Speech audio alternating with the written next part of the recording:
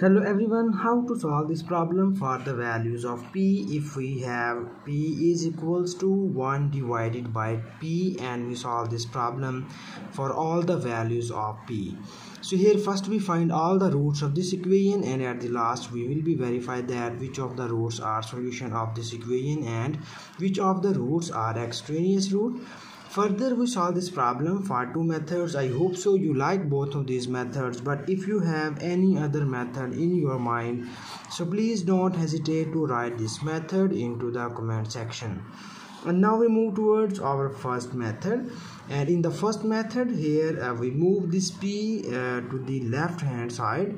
Or in other words uh, we just write our left hand side as you know that this is p and the denominator of this term is 1 and in the right hand side we have this is 1 divided by p and now in the next step we need to cross multiply the terms and we multiply p with this p and we multiply 1 with this one. And after cross multiplication of the terms we will get here this is p times p becomes here p square and this is 1 times of 1 is equals to 1 only and in the next step you see here because we solve this problem for the values of p so uh, that's why we need to remove this square sign from here.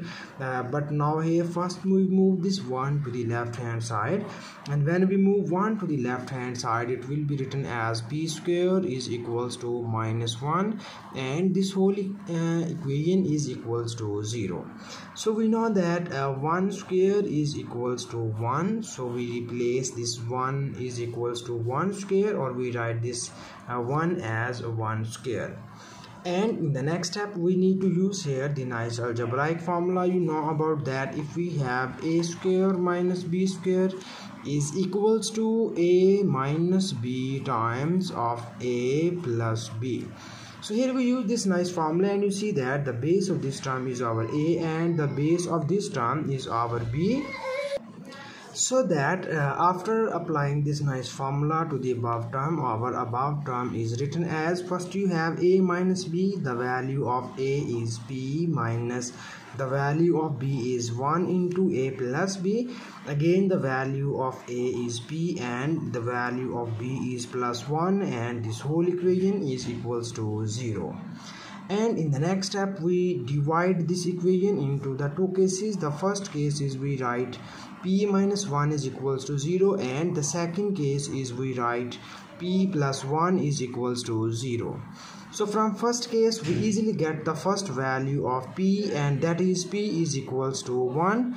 This is the our first root of the given equation and from here we need to move this plus 1 to the right hand side and it will becomes p is equals to minus 1 because this is plus 1.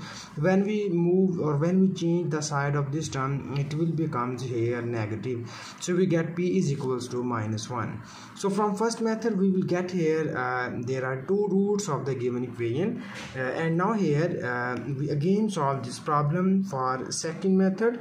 Uh, and in second method we need to copy down given question statement here. And the given question statement is that p is equals to uh, 1 divided by p. So this is the our given question statement. And here uh, first uh, in, in, this technique or in this method I can just use different techniques to find the values of p. Uh, so here our first step is same which we uh, uh, apply on both of these methods. Now here in this method we move this p in the left hand side. So this p times of p is equals to p square and is equals to 1 so here uh, in the second method I can just use the uh, square root technique to find the values of p. So you know that when in order to remove this square sign we need to apply the square root on both of the sides. So that when we apply square root on both of the sides it will be written as p square and its square root is equals to square root of 1 and we have this is this 2 is cancelled out by the square root. And we will get here p is equals to we know that the square root of 1 is equals to 1 further you you see that when we apply square root on both of the sides we will write here plus minus sign on any one of the sides so you see here from both of these methods we will get here the same values or same roots of p.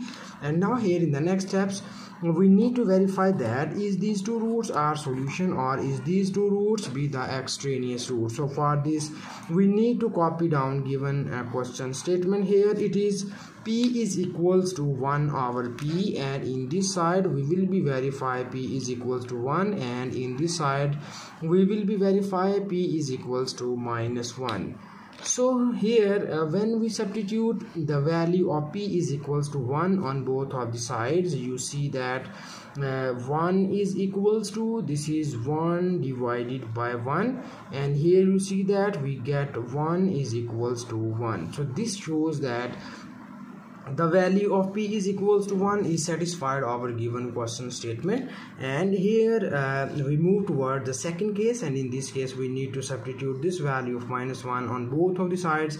And you see that we have minus 1 is equals to 1 divided by minus 1 and here we get minus 1 is equals to minus 1 so this also shows that the second value of p is also satisfied our given question statement. So finally we have the solution set of the given question is that plus minus 1 so this is the our final answer of this question.